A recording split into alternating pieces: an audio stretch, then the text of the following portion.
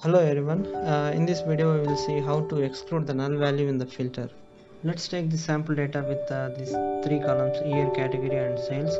Uh, if you observe closely there is no uh, there is one uh, row where there is no data for the category column. So let me load this data into Tableau now.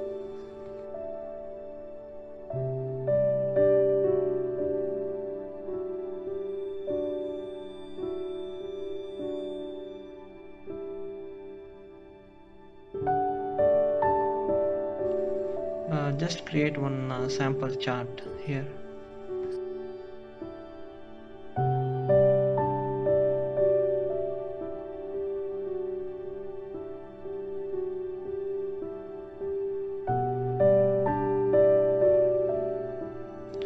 Uh, if we see here there is a null option available in the category filter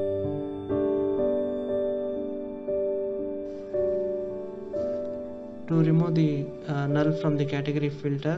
Uh, we need to duplicate the category field and then place it in the filter shelf. Exclude the null value from the category field duplicate field created.